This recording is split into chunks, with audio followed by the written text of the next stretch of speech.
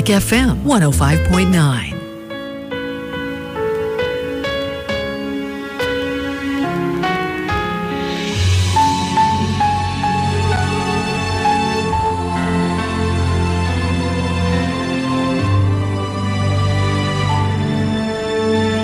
Ito ang oras ng panalangin. Panalangin para sa kalakalan at ekonomiya. Ang mga petisyon na nilalaman ng panalangin ito ay hinango sa mga katuruan ng salita ng Diyos, ang Biblia.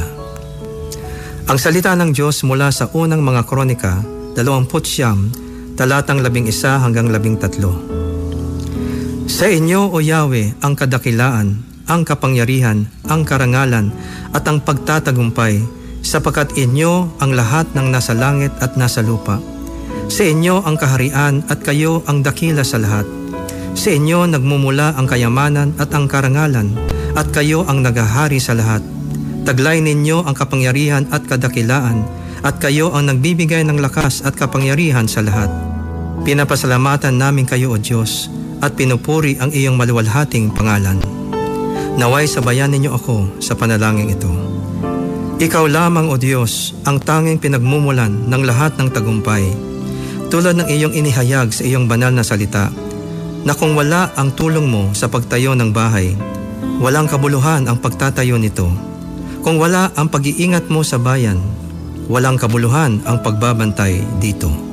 Ikaw lamang din ang pinagmumulan ng lahat ng kayamanan at mga ari-arian na iyong ipinagkakaloob sa mga nagpakahirap sa pagtatrabaho para sa kanilang kapakinabangan at kasiyahan. Iyong pinahintulutan na makamit nila ang mga ito, hindi dahil sa sariling kakayahan at lakas, kundi dahil sa iyong katapatan at kabutihan. Ibinigay mo sa kanila ang kakayahang maging mayaman upang sila ay maging mayaman din sa mabubuting gawa, maging mapagbigay at matulungin sa kapwa.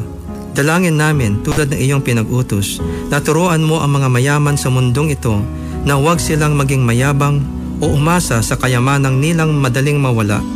Sa halip, turuan mo na umasa sila sa iyo na nagkakaloob sa kanila ng lahat ng bagay, na sila ay maging bukas palad sa kanilang kapwa, lalo na sa mga mahihirap, nang sa gayon sila ay makapag-ipon ng kayamanan sa langit na hindi mawawala at matamo nila ang tunay na buhay.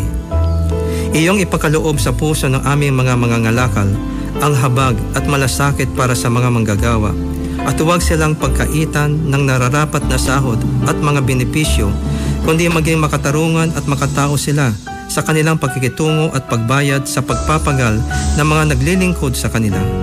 Igawad nawa nila ang katampatang sweldo na walang antala o panlilinlang sa lahat ng panahon. Iwaksi mo sa kalooban ng mga mayayaman at may kapangyarihan ang lahat ng uri ng pang-aapi sa mga mahihirap at walang lakas, kundi ipagkaloob mo sa kanila ang kahabagan, kabutihan, katarungan, at tunay na malasakit sa kapwa. Alisin mo rin sa kanilang puso ang makapaninirang pag-ibig sa salapi at palitan mo ito ng tunay na pag-ibig sa kapwa. Palakasin mo, O Diyos, ang kalooban ng aming mga mangangalakal na ipinamumuhay ang katuwiran at katarungan, kakumbabaan at mamamalasakit sa kapwa. Palakasin mo, O Diyos, ang kalooban ng aming mga mangangalakal na ipinamumuhay ang katuwiran at katarungan, kakumbabaan at pagmamalasakit sa kapwa. Igawad mo sa kanila ang higit pang tagumpay at kasaganahan upang marami pa silang matulungan at mabigyan kinabuhayan. Protektahan mo rin sila sa mga masasamang loob at sa mga nagnanais na sila'y sirain o pagsamantalahan at pagkalooban mo sila ng katarungan. O Panginoon, pagtibayan at pasaganahin mo ang aming ekonomiya. Bigyan mo ng dunong, integridad, tagumpay, at katapatan ang mga nangangasiwa sa aming pamahalaan na mga plano at programang pang-ekonomiya at infrastruktura. Iyong pigilin ang pagkalat ng karahasan at krimen sa aming lipunan at ang pang-aapi at katiwalian na siya nagpapaalipin sa karamihan sa kahirapan. Paghariin mo ang katuwiran at katarungan, pag-ibig at pagmamalasakit sa kapwa sa aming bayan, mula sa aming mga pinuno hanggang sa mga pangkaraniwang mamamayan. Maraming salamat Panginoon sa iyong pagtugon sa aming mga dalangin na ito sa pangalan ni Jesus. Amen.